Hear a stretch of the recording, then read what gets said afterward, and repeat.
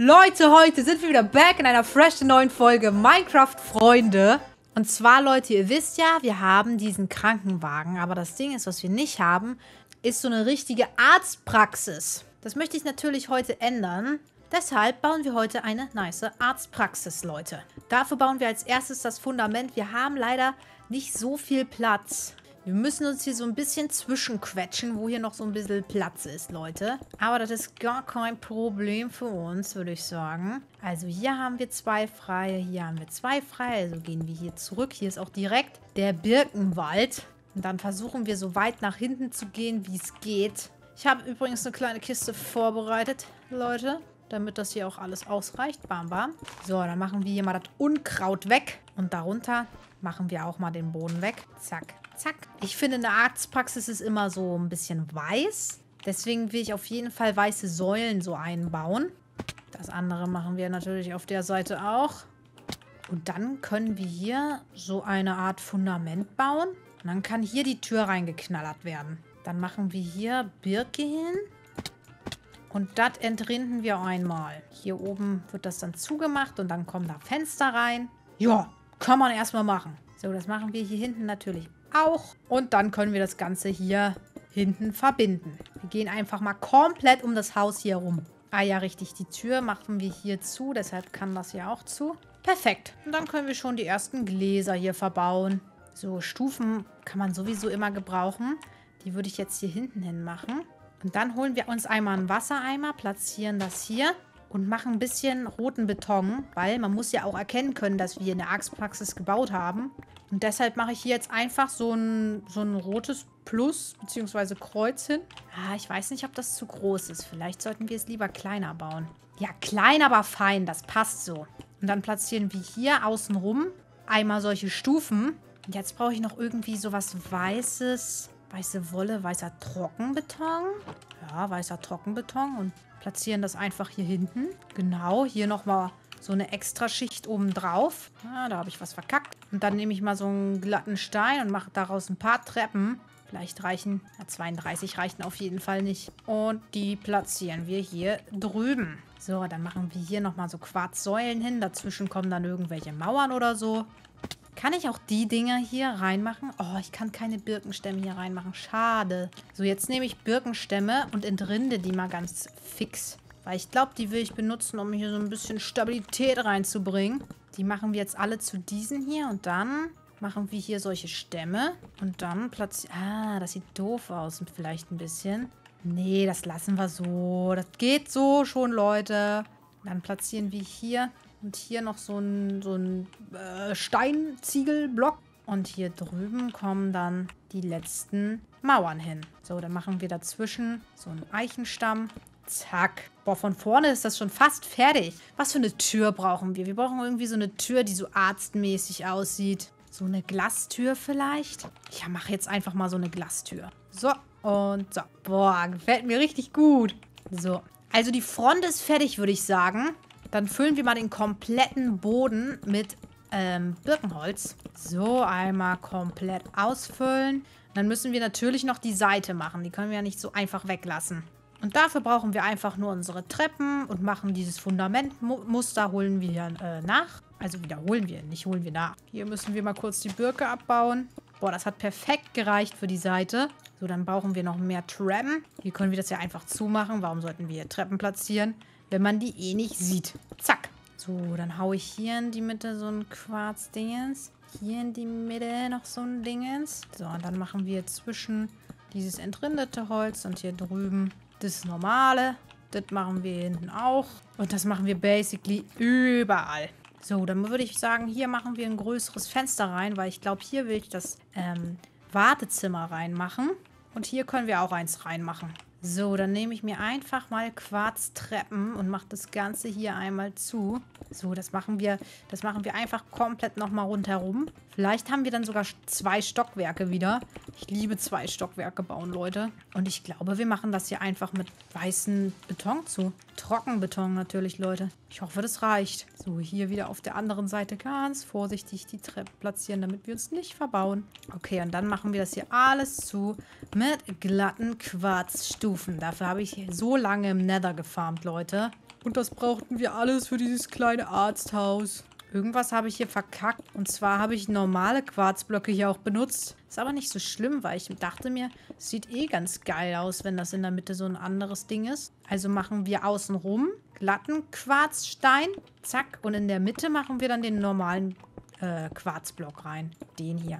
Das ist unsere kleine Arztpraxis. Noch ein bisschen unfertig, aber gefällt mir schon sehr gut. Hier ist noch ein Baufehler. Das wird sonst reklamiert.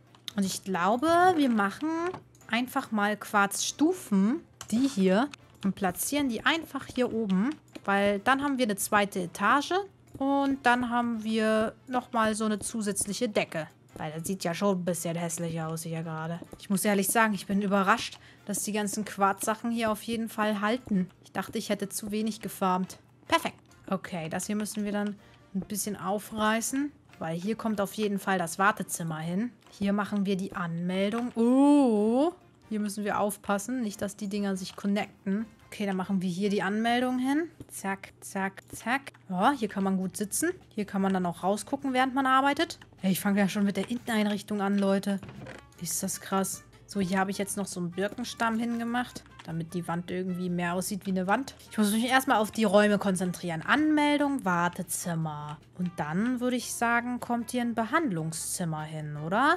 Ein Behandlungszimmer. Zack. Das hier reißen wir auf. Zack. Hier kommt dann die Tür rein. So. Und das hier, ob wir das hier zumachen können, dass es dann mehr aussieht, so wie eine... Ja, machen wir mal, Leute. Was soll der Geiz? Hier können wir theoretisch noch eine Treppe nach oben hin machen. Wir haben noch ein bisschen Treppen. Von daher würde ich sagen, wir machen es einfach. Und dann kann man oben so das Labor oder falls man hier stationär aufgenommen werden muss, kann man da hinmachen. Also, was müssen wir aufreißen? Das, das, das, das. Und hier landet man dann oben. Oh, oh Gott, ich habe Ton abgebaut. Das wollte ich gar nicht. Hilfe. Das müssen wir natürlich reparieren. Oh, das habe ich... Ah, okay, da habe ich... Da habe ich Bockmist gebaut, Leute. Ich glaube, hier kann man einfach noch ein Fenster hinbauen. Dann kommt hier so ein Patientenzimmer hin. Glas haben wir zum Glück noch ein bisschen. Und dann brauchen wir solche sogenannten Shutter, damit wir das hier notfalls zumachen können. Zack. Okay, dann machen wir hier so eine Art Flur hin. Hier kommt auf jeden Fall ein Raum hin. Ich orientiere mich hier einfach nur am Fußboden, Leute, wenn ich ehrlich bin. So, hier kann man dann in ein Zimmer reingehen. Und hier ist auf jeden Fall eine Station. So, das machen wir weiß. Ups, das war der falsche Block. Und dann würde ich sagen, dann steht unser Raumkonzept. Wir brauchen nur eine andere Tür. Ich glaube, ich mache eine ganz normale Billo-Birkentür hier rein. So, dann kann man hier auf jeden Fall nicht durchgucken. Hier auch nicht und hier auch nicht. Bisschen Privacy, ne? So, dann machen wir hier natürlich noch ein bisschen Licht rein. Hier eine Lampe und hier auch ein bisschen Licht. So, dann machen wir auf jeden Fall einen Stuhl hin für die Anmeldung. Ah, ich war schlau. Ich habe sogar Bücher mitgenommen. Dann craften wir mal ein paar Bücherregale, Leute. Da man das hier eh nicht sieht, können wir uns ja hier einfach wunderbar reinbauen. Zack, und hier kommen dann die ganzen Bücher hin. Die Akten von unseren äh, Kunden. Können wir hier noch ein Regal hinzimmern. Perfekt. Oh, wir brauchen blauen Farbstoff, weil ich glaube, ich will so blaue Stühle machen. So, wenn ich an Arzt denke, denke ich so auf jeden Fall irgendwie an Blau. So, dann müssen wir erstmal hellblauen Farbstoff machen, weil ich meine diesen hellblauen Stoff. Und dann machen wir... Oh, uns fehlt Wolle. Die haben wir aber hier gesaved. Ah, ich weiß nicht, ob drei Stühle reichen, aber mal gucken. Also einer soll auf jeden Fall hier sitzen. Einer dort, einer da. Ah, wir, dann machen wir noch mehr blaue Stühle. Ja, dann können ja auf jeden Fall schon viele Leute sitzen. Dann brauchen wir natürlich hier einen Birkenholztisch und hier drüben auch einen. Wo so Zeitungen so drauf sind vielleicht. Und die Mitarbeiterin kriegt auch einen Tisch. Okay, Leute, jetzt brauchen wir ein paar Science Gems, um unsere Science-Sachen da zu machen. Oh, was, wo, wo klicke ich hin? Um unsere Science-Sachen zu machen. Das craften wir einmal hier. Und dann können wir auch diesen Medical Screen bauen. Und dann können wir nämlich jetzt in das Arztzimmer gehen. Und können, würde ich sagen, hier diesen Medical Screen hinbauen. Ah, passt der so?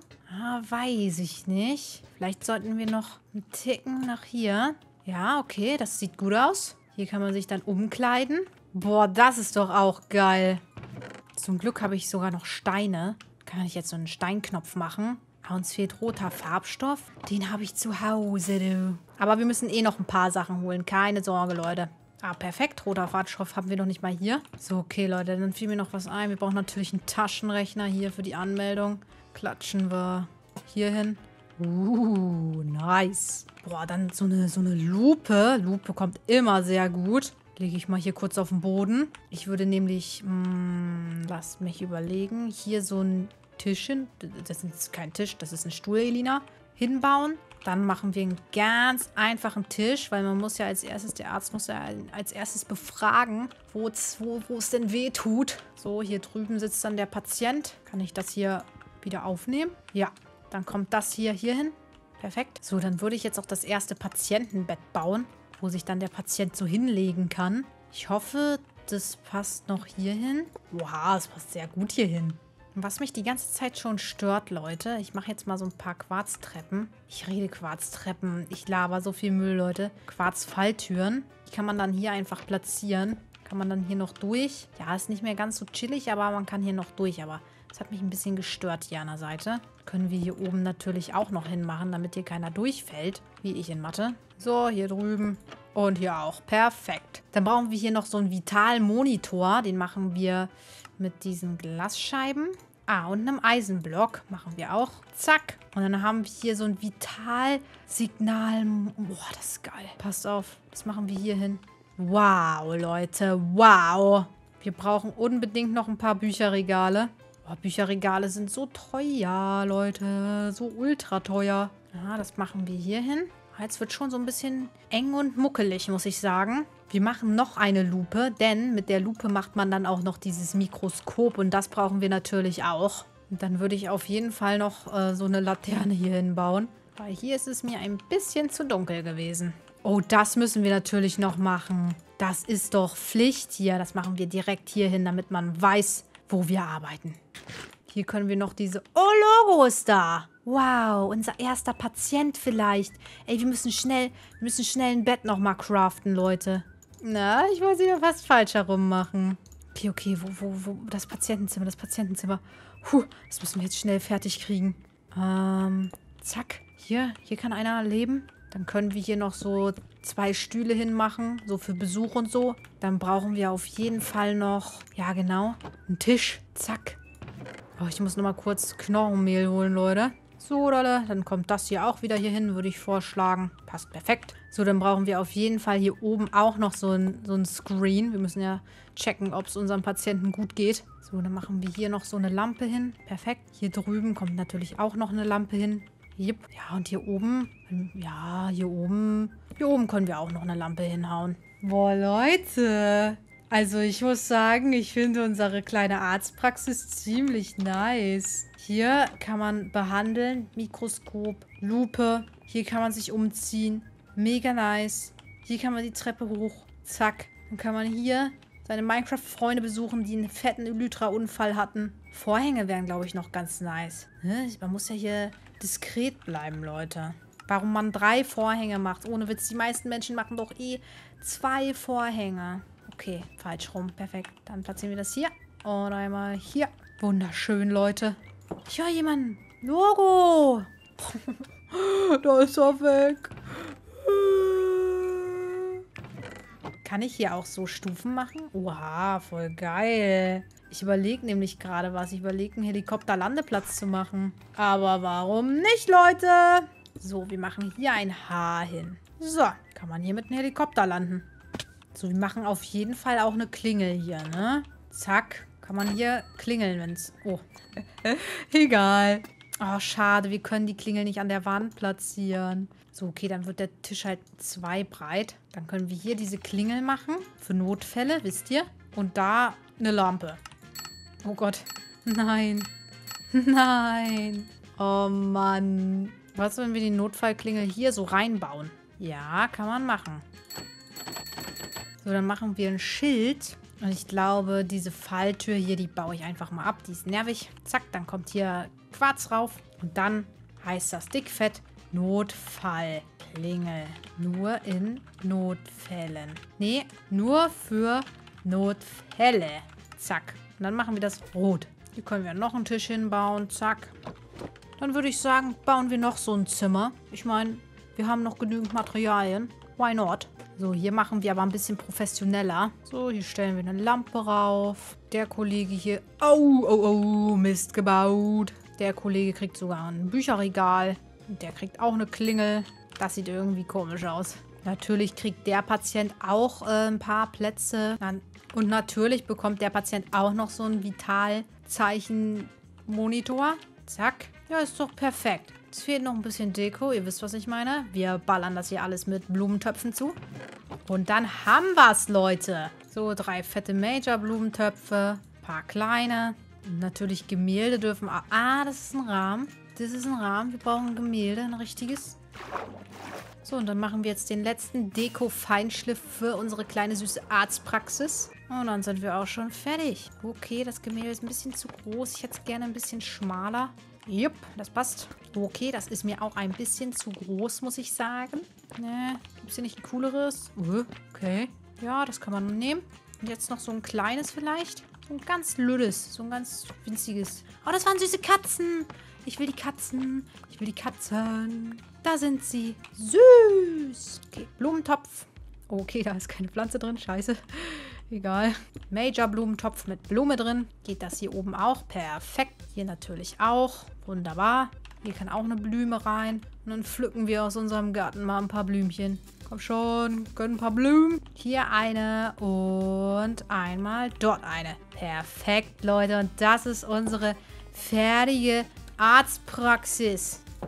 Sieht doch wunderbar aus. Schließen wir ab. Die Materialien verbuddeln wir wie immer darunter. Zack, zack und zack. So, und hier hinten hatten wir auch noch was verschmutzt. Und dann passt das hier passend zum Krankenwagen hier unsere kleine Arztpraxis. Finde ich sehr, sehr nice, Leute.